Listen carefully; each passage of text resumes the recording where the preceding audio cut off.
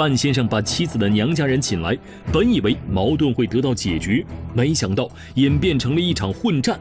重新回到范家的张女士和丈夫相处不好，和婆婆水火不容，在这个家里仿佛没有立足之地了。更让她不可接受的是，连她的骨肉至亲十七岁的女儿，现在都和她对抗，逼她和丈夫离婚。我们评那个女儿每个学期有两到三千块钱的资助，她说从来没拿过。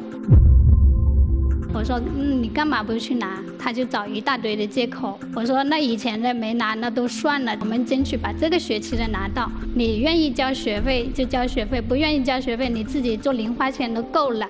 他后面就说，不去。我说你不去可以。我说那你别找我要学费。我女儿她就在外面，她说，啊，你自己没手没脚啊，不会做饭啊什么之类的，就在那里说。我说你再说，我说你作为一个小孩，你有什么资格说这样的话？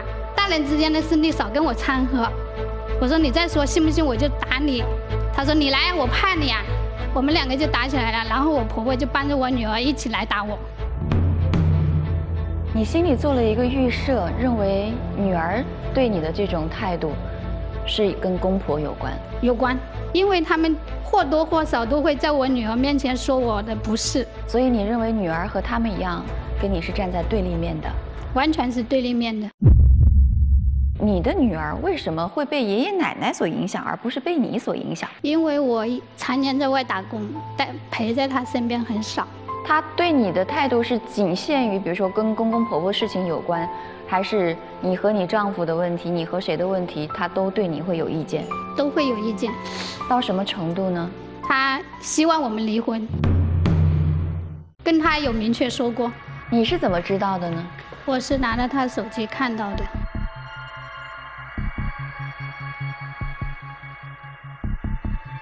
对，这是我女儿发给我的，我也没有按照他的意思去的。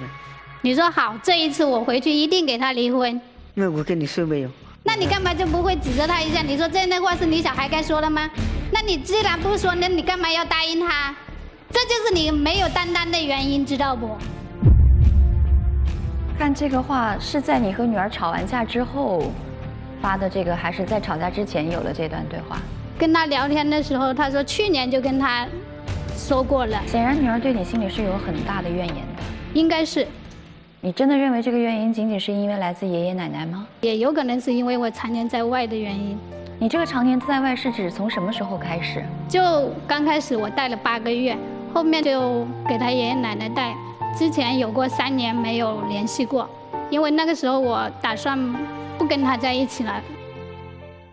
长期的分居让女儿对张女士没有了情感寄托。从女儿和父亲的聊天记录中，我们感受到纷繁的争吵让女儿觉得妈妈对于这个家庭来说仿佛是个灾难。她费尽心思想要排除妈妈，过上平静的生活。为什么女儿会如此怨恨母亲？为此，我们联系了范先生的姐姐，以寻找答案。我们节目继续。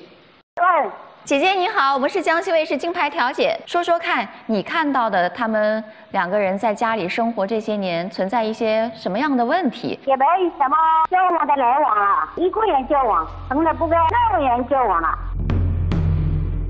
你们看他觉得他的这个脾气性格是什么样的？他坏了，一个女儿十六岁了，呃十七岁的饭了。嗯，他一分钱不给，也不管儿。除了弟媳妇儿做的不好的地方之外，弟弟有没有什么地方也有做的不好的？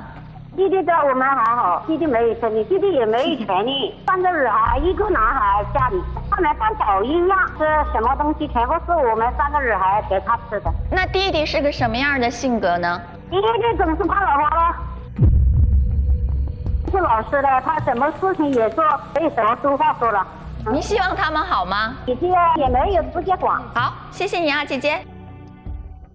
从连信中，我们感受到姐姐对弟媳确实不太满意，对弟弟和弟媳的未来走向也无法给出明朗的答案。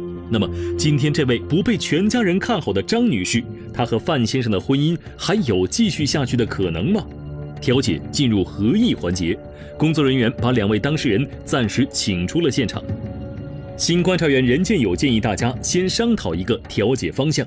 我觉得呢，咱们现在呢，目前就要确定一个调解的一个方向，他们究竟有没有和好下去的这个可能？待会儿让他们谈一谈，你对对方就是最欣赏的一点是什么？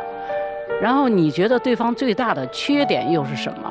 方哈，她的被认同感都是很低的啊，她找不到存在感。一个人好像装得很强大，要对抗所有的关系，这个其实是一种很脆弱的表现。所以我觉得这个调解的一个点就是帮助这个女方，让她认识到这些问题。我认为他们之间主要存在着几个问题。首先，第一个。